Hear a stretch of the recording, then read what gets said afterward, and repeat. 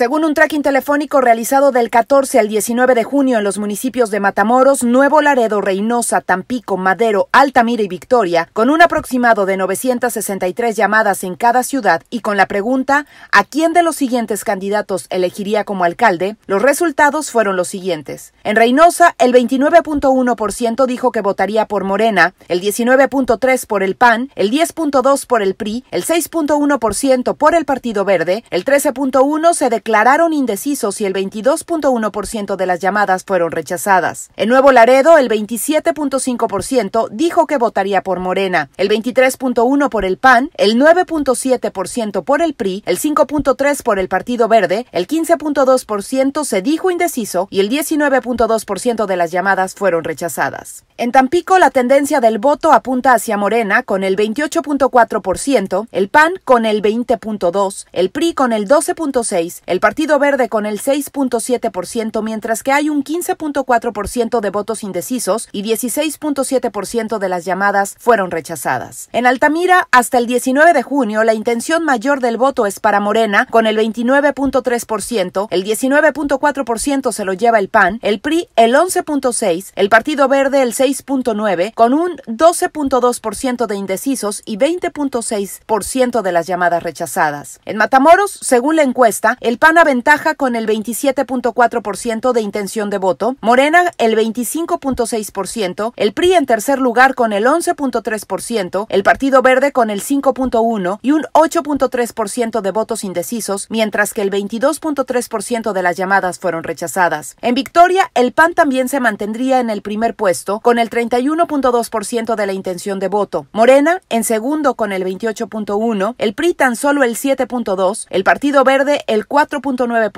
mientras que hay un 13.2% de indecisos y 15.4% de las llamadas rechazadas. Por último, en Madero, Morena aventaja en la encuesta con el 31.2% de la intención de voto. El 19.3% es a favor del candidato panista, el 6.4% al PRI, el 4.1% al Verde, el 16.9% se mostraron indecisos y 22.1% de las llamadas fueron rechazadas. En los resultados generales, Morena tiene el 28.5% de la intención de voto. El PAN, el 22.8 contra el 9.9 del PRI, el 5.6 del Verde y un 13.5% de indecisos en promedio en total de municipios encuestados, mientras que el 19.8% de las llamadas fueron rechazadas. A pocos días de la elección podemos observar aún un gran porcentaje de votos que no están definidos, lo que podría cambiar radicalmente los resultados en las urnas. Para Mundo Tamaulipas, Pilar Mondragón.